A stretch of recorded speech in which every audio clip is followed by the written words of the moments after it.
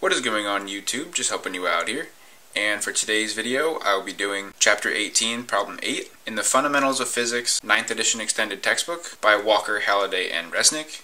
Chapter 18 is all about temperature, heat, and the first law of thermodynamics. And in Problem 8, we are asked to compute the increase in surface area of an object that is being heated. And so the first thing that I'm going to do is just draw a picture and so our cube, which I'm going to draw from just one face, so it's going to look like a square, has a side length of L1. And then after it's heated, it's going to expand a little bit. And so after the expansion, we'll call the side length L2. And so then I'm going to define a new variable, delta L, which is going to be the change in the side length between the heated and the original and that's going to be equal to L2 minus L1. So essentially, this is just the amount the length of the side increases by expansion. And so we know that the area of this square is L squared, the length squared. So that's just L squared, but we are looking for the surface area increase of the entire cube, and a cube has six faces, so it's six times L squared. And so what we can do is write the area for both cases of this cube, and that's A1 is equal to 6L1 squared, and A2 is going to be equal to 6L2 squared. And now since we are looking for an increase in surface area, which is the same thing as saying we're looking for a change in area, we can say the change in area is equal to A2 minus A1.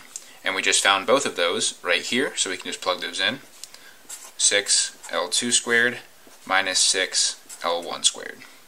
And now we're given L1 in the problem, but we don't know what L2 is, so we need to write it in terms of things we do know or things we can solve for. Now over here, I wrote down this little equation, and again, we know L1, and delta L we can find via a linear expansion equation.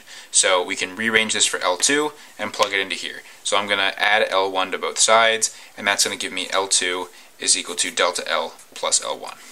And now I'm going to take that and plug it into here, and so that's going to give me 6 times delta L plus L1, entire quantity squared, minus 6 L1 squared. And now I can expand this out a little bit. That's going to be 6 delta L plus L1, delta L plus L1, minus 6 L1 squared. And now I'm going to multiply these two out. So that's going to be 6 times delta L squared plus 2 L1 delta L plus L1 squared minus 6 L1 squared. And now I'm going to distribute this 6 out, and that's going to be 6 delta L squared plus 12 L1 delta L plus 6L1 squared minus 6L1 squared. So these two terms are going to drop out, and we're going to be left with 6 delta L squared plus 12 L1 delta L. And now, as I said before, we know L1, but we are not told what delta L is, but as I said up here, we can solve for it using a linear expansion equation. And so delta L is equal to the length times a coefficient of linear expansion, which is characteristic of the material, times a change in temperature. And so this length is the length that we started with, which is going to be L1. So this is L1 times alpha times our change in temperature, which we'll just say is T2 minus T1. So temperature at this scenario 2 minus temperature 1, our scenario 1. And so now we can take that and plug it back into this equation, meaning that our delta A is equal to 6 times L1 times alpha times T2 minus T1, that entire quantity squared, and that's going to be plus 12 L1 times L1 times alpha times T2 minus T1. And just to simplify it a little more, we have 6 L1 alpha t2 minus t1 squared plus 12 L1 squared alpha t2 minus t1.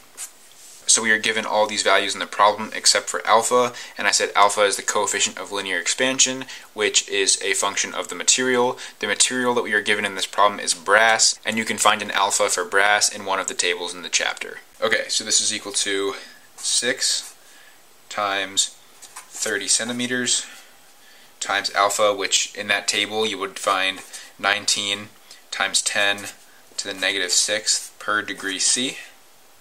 That's going to be times 75 degrees C minus 20 degrees C. That entire quantity is squared, and that's going to be plus 12 times 30 centimeters squared times that alpha again, 19 times 10 to the negative 6 per degree C, and then times our temperature difference again, 75 degrees C minus 20 degrees C. And so those two terms are equal to 0.0059 centimeters squared and 11.3 centimeters squared respectively. And if we add those together, our increase in surface area is equal to 11.3 centimeters squared, which if you decide to round it to two significant figures is 11 centimeters squared. And so the reason why I showed both of these terms right here is to show that this term right here was much, much less than this term to the point where it was insignificant for your final answer, even if you rounded to three significant figures instead of two. And that goes back to up here, where you have this term right here, which delta L I said is the expansion of the length of a side of the cube due to heating, which is pretty small compared to the length of the cube. So this term could have been discarded, and you just would have been left with this term. And had you done the math, which would have been less than what I showed here because you wouldn't have had that term, you would have been left with just 11.3, which ended up being our final answer if you rounded to three significant figures. So basically, I just wanted to point out that was a simplification that you could have made to make your life a little easier, because in this particular case, that term would not have mattered. And so this is the final answer to this problem.